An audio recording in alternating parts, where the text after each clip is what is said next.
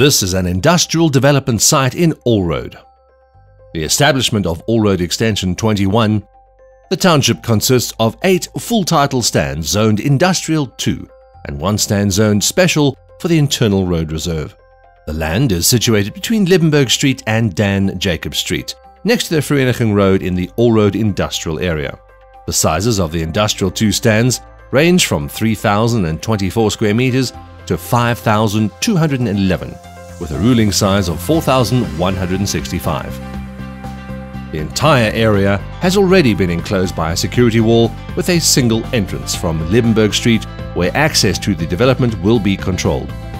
The internal road, stand 1643, will be owned by a Section 21 company, thus allowing the stand owners to restrict access to the area.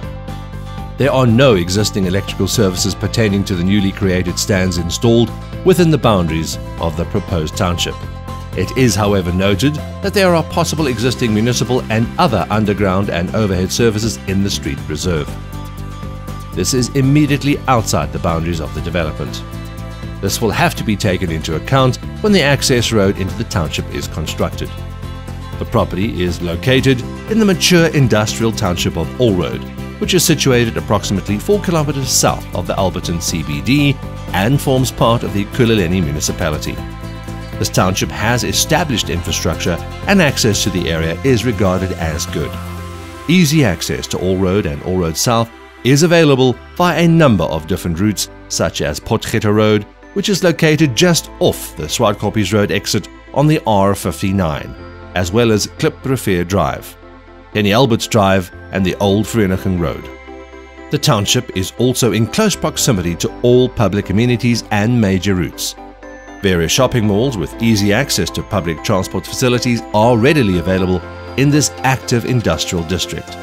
Surrounding areas include Brackenhurst, Bracken Downs and the Alberton CBD. The area is located close to the Vaal Corridor and the Sabron Van Freeway. The subject property is surrounded by a combination of other related industrial and commercial properties. Demand for property in this busy industrial node is considered as high. Online bidding facilities are available on the High Street app, which is available on the Apple and Android platforms. This property will be auctioned off on the 24th of November at Summer Place in Johannesburg at 12 noon.